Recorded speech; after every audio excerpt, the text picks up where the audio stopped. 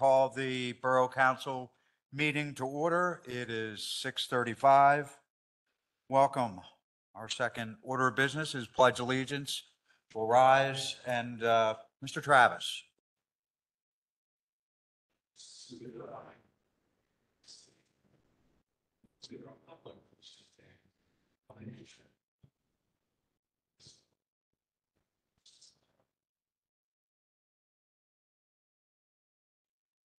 Next, we'll have uh, announcements, comments by council and the mayor. Mr. Carroll, we'll start with you. I just want to say thank you for all of the work that council has put in, that that everybody on staff has put into working through and continuing to work through this short-term rental ordinance. It's very near and dear to my heart, and I think it's near and dear to a lot of people here. And I think we're working together, taking everybody's opinions into account. Thank you. Thank you. Mr. McGinnis. Thank you, Mr. President. So I just want to uh, reiterate the fact, uh, what we've been doing and actually what all of us been doing on Borough Council, Borough staff, Sean, uh, and especially Barb Leonti. And th- this really should be, we should really be singing the praises of this and how we've updated our fiscal situation uh, through accounting measures, through uh, working together and turning budget deficits into budget surpluses. That's a very good thing. And then as a result, that's updated our credit rating from double A negative to double A stable. So that helps reduce borrowing costs for the borough moving forward. And if we continue to make improvement, we continue to upgrade our credit rating. So give a shout out to everyone who did that. Again, Barb Leonti, hopefully you're listening. Uh, borough staff and, and again, council members and former council member Nick Allen. You should get a shout out as well because he was the one who helped uh, start the genesis of uh, this entire uh, direct, new direction that we're moving forward. So I just want to make mention to that. Thank you. Mr. Travis. I just wanted to uh, give a shout out or acknowledgement to the greenhouse. The greenhouse is, if you haven't been there yet, it, it's it's an interesting store and probably very unique to West Chester. You know, which is we're so familiar with pizza places and hair haircutteries and bars and restaurants and other establishments, but the greenhouse expanded into uh, where the old Fairman Skate Shop was for such a very very long time, and I think a lot of us were feeling nostalgia about something that has been here for such a long time, no longer being here. But it, it feels very fresh and uh, just it, it really it's something that, that anybody that lives in the borough or in any dense city living type of environment can see and, and just understand. It just makes sense. Like you see that and you want to go in there and you want to put something in your house. So I just wanted to congratulate them first of all for having success and then expanding into this uh, venue that I think a lot of us have some familiarity with, and maybe even some nostalgia. So the greenhouse. Thank you. Ms. Dorsey. Thank you, Mr. McCoy. Um, really just want to uh, recognize all the um, EMTs, fire department, police department for uh, National Night Out last night. Um, unfortunately, I was not able to attend. I was here, um, but I did see all the festivities as I was riding by. Also, want to remind folks that school's starting next week and uh, to mind the school bus flashing lights and bus stops so we can keep our children safe. Um, and um, got a topic for next month's, I think, public safety meeting uh, with uh, some of the occurrences uh, at during the the ordinance, the public hearing. That's it. Thank you. Mr. Flynn. Greetings from the sweetest ward the borough, the sixth ward. Mr. Travis, thank you very much for mentioning a beautiful new building that we have there in the Fairmont spot. But I'm going to go a little bit lighter this month. On September the 4th, all of you people that think that Mr. Scrooge um, needs to be straightened out, I'll be sitting in a dunk tank on September the 4th.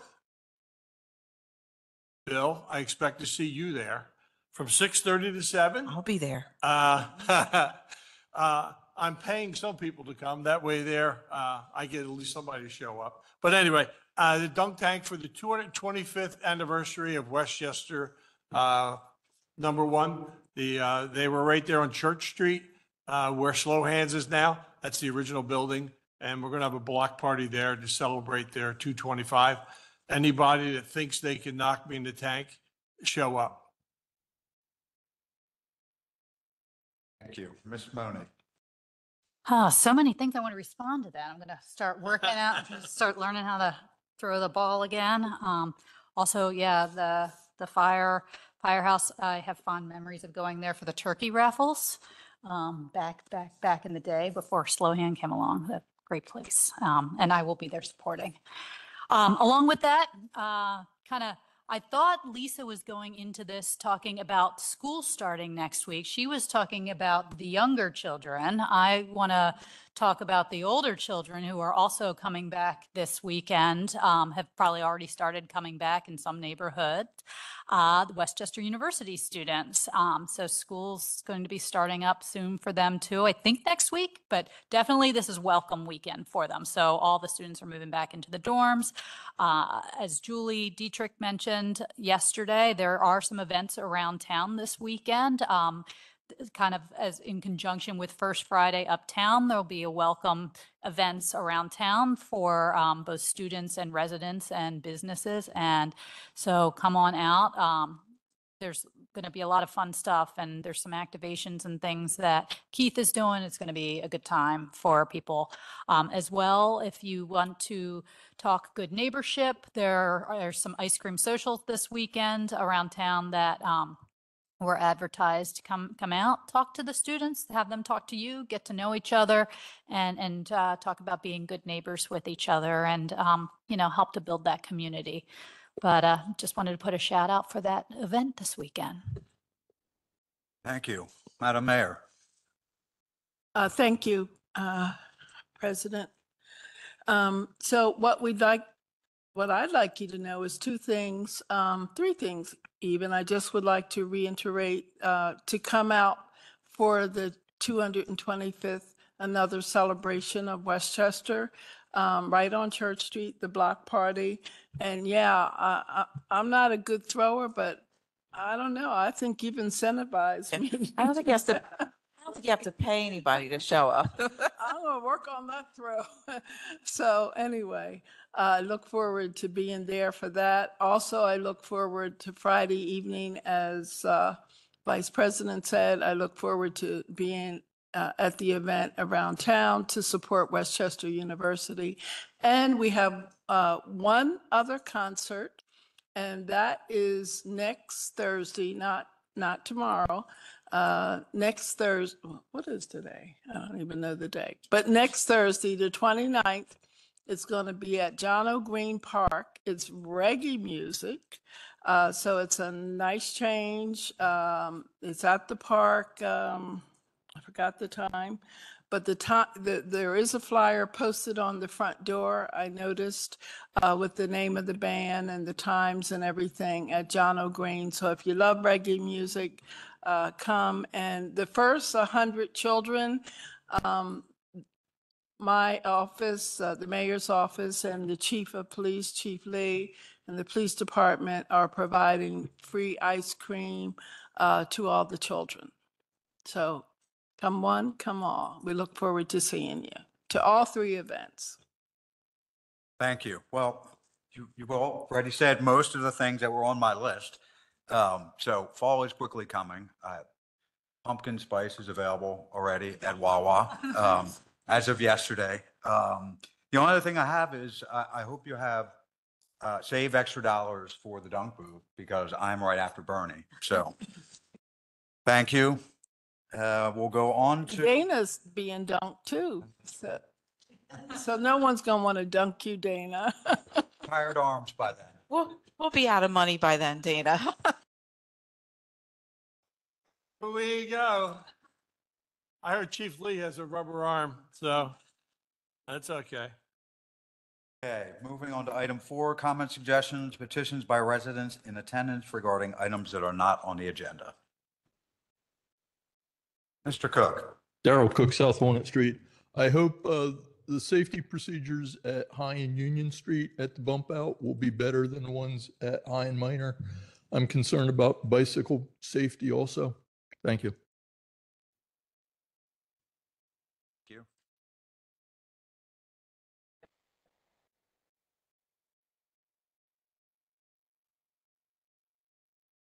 Two things. I want to give a very public shout out to Dana for all of her help over the last couple weeks.